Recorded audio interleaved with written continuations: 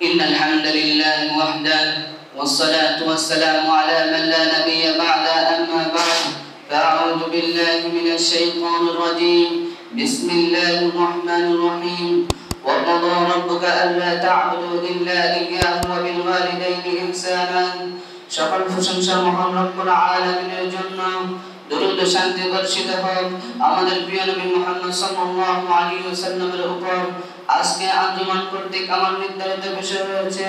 মা বাবার খেদমত উক্ত বিষয়টি আমি সুন্দরভাবে বলার চেষ্টা করব, ইনশাআল্লাহ। প্রিয় উপস্থিতি দুনিয়াতে আমরা মা পিতামাতার মাধ্যমে এসেছি। তাই ইসলাম আমাদেরকে পিতামাতার খেদমত করার নির্দেশ দিয়েছে এবং তাদেরকে কোনো প্রকার কষ্ট দেওয়াকে হারাম করেছে। আল্লাহ তাআলা সূরা বনী বলেন, ওয়া কাদা রাব্বুকা আল্লা ইল্লা ইয়্যাহু ওয়া ওয়ালিদাইনি ইহসানান। তোমার প্রতিপালক হুকুম জারি করেছে যে, তিনি ছাড়া অন্য কারও ইবাদত করো না। আর পিতামাতার সঙ্গে সৎ ব্যবহার করো। তাদের একজন বা তাদের উভয় যদি তোমার জীবন দশায় বৃদ্ধ অবস্থায় উপনীত হয়। তবে তাদেরকে বিরক্তি বা অবকাশসূচক কথা বলো না।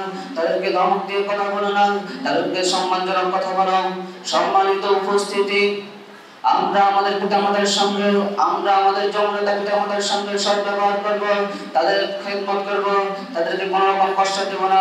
আল্লাহ তাআলা আমাদেরকে সেই তৌফিক দান করুক। আমিন। আসসালামু আলাইকুম ওয়া রাহমাতুল্লাহি ওয়া বারাকাতুহু।